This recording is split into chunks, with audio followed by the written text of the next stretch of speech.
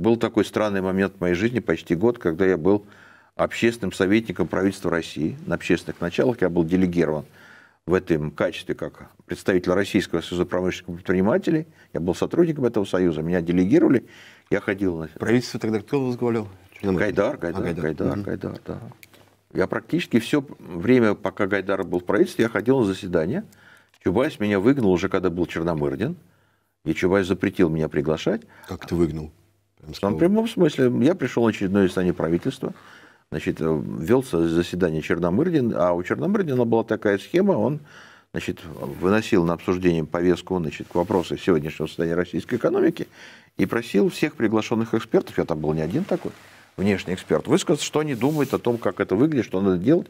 Я, соответственно, выступил по проблемам приватизации, после чего взлетел Чубайс и закричал, что вот таких, как Липсис, допускать заседание правительства нельзя – Потому что эксперт правительства обязан полностью разделять идеологическую линию правительства. И он потребовал, чтобы Черномырдин меня немедленно изгнал и больше никогда не приглашал. Но Черномырдин, знаете, человек такой самостоятельный, он меня не выгнал в тот раз. Я засидел до конца, но больше ни на одно заседание меня не приглашали. Я перестал в этом участвовать. Ну, так что, в общем, нет, ни одно из решений, которое я предлагал, не было реализовано. И вот авторство себе ничего приписать с 90-х годов не могу. Оппозиция, да, я писал очень много докладов, мы анализировали то, что делало правительство, мы разговаривали с промышленниками, мы пытались найти какие-то компромиссные решения, чтобы не так сильно рушилось. Но это все отторгалось. Чубайсом, Гайдаром, их коллегами, это все отторгалось, ничего из моих идей не было реализовано. Так что я спокойно ушел из науки в конце 20 века больше не занимался этим, занимался только преподаванием. Мы сейчас имеем а, некоторые подробности про грядущий бюджет. Угу. Какие-то добрые люди слили информацию. Да, но мы еще не знаем точно. Журналистам. Ну, в да. общем, с определенной степенью да. уверенности мы можем сказать, что он точно будет э, очень военным. Да. Максимально военным. И даже, наверное, он во многом превышает какие-то консервативные прогнозы э, и оценки.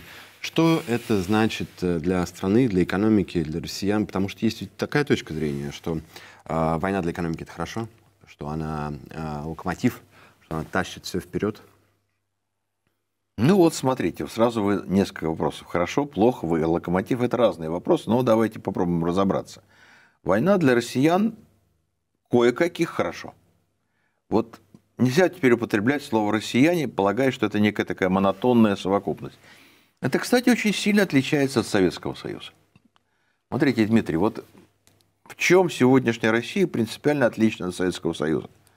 В Советском Союзе была куда больше, как вам сказать, мера единомыслия. Ну, то есть было ощущение, что есть они, вот эти партийные бонзы, которые нас загнали в чертову мерзкую жизнь, и есть мы, нормальные люди.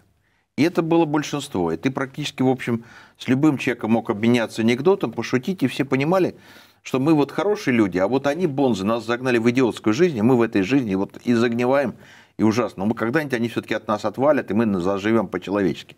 И это была монотонная масса, и ты поним, ощущал, что вокруг тебя люди, которые смотрят на жизнь так же, как и ты. Сегодня это совсем не так.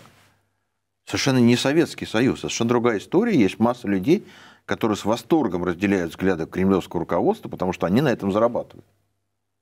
И они совершенно с тобой не согласны. Они тебя проклинают последними словами. Потому что ты портишь их картину бытия, ты угрожаешь их доходам, ты просто враг несказанный. Есть масса людей, которые на этом зарабатывают. И поэтому россияне сегодня это негодящийся термин. Надо сегодня говорить бенефициары войны и прочие. Вот так бы я лучше сказал. Вот бенефициары войны на войне зарабатывают, хорошо зарабатывают, и военный бюджет для них это подарок. Это значит, еще будет больше заказов, больше контрактов, больше проектов, больше можно заработать, больше можно будет украсть. Ну, красота ж какая, господи ты, боже мой. А для остального населения это катастрофа.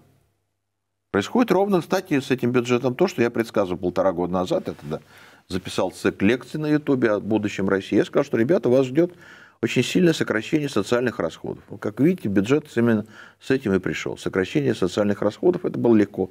Я тогда написал, ребята, вас ждет повышение налогов. Как видите, оно уже состоялось. Да, ну, я сказал, что будет повышение всех платежей, оно состоялось. Посмотрите сейчас то, о чем россияне мало знают, но для людей это э, квалифицированных, это страшная тема. Россиян практически отрезали от судебной защиты.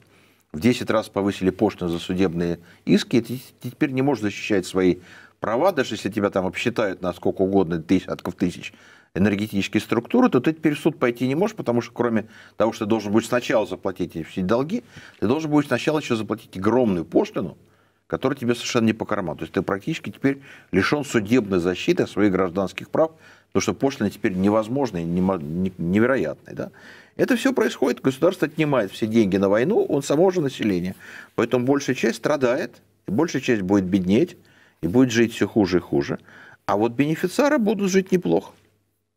Ну, как вы э, представляете себе вот этот класс, да, бенефициары и не бенефициары? Сколько это человек, сколько это процентов населения? Потому что по э, моим ощущениям, ну, как бы так, субъективно, э, огромная часть занята в госсекторе, и в, в качестве чиновников, и в госкомпаниях, и в бюджетных предприятиях. И как будто вот все эти люди, да, они так или Нет, иначе где-то что-то могут получить Нет, не кусочек так, не так, не так, смотрите. Значит, смотрите, в чем вы правы, что огромная доля, значит, статистика примерно говорит так, а, что 50% трудоспособного населения России, работающих, они заняты в госсекторе. Половина, да, это все правда.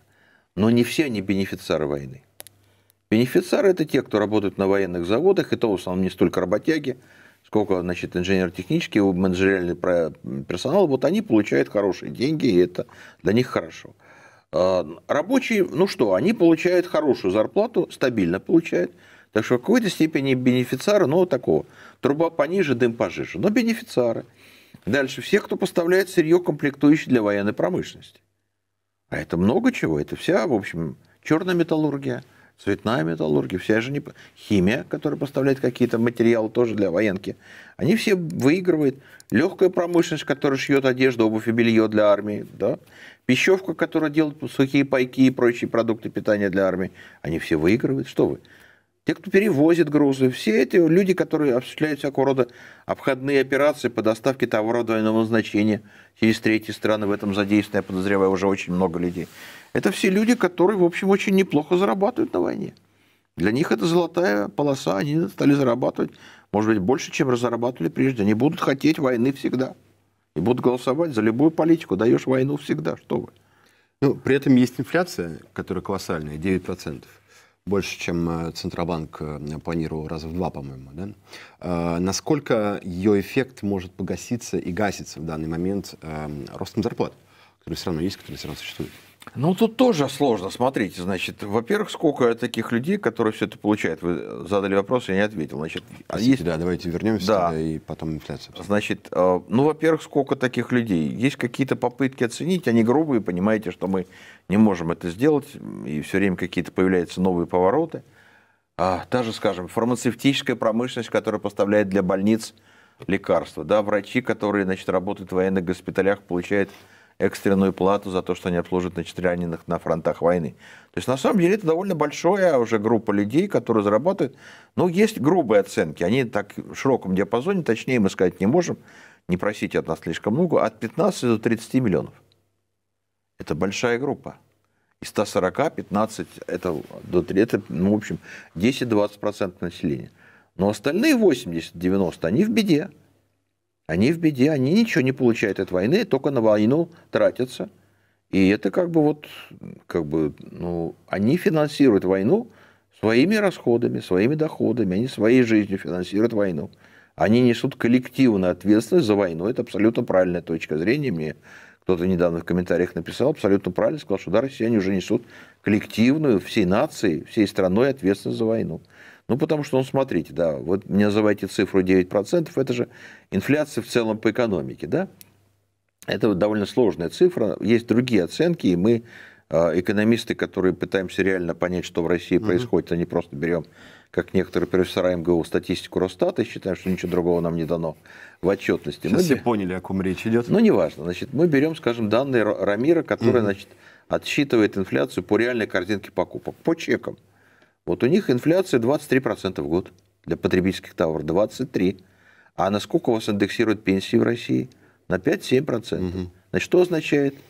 Ну, Это значит, что вы 15-18% каждый год у пенсионера падают реальные доходы. Покупательная способность пенсии на 18-15% каждый год снижается. Ну вот эта картина реальная. Он от войны только проигрывает, он от войны ничего не получает, он только теряет.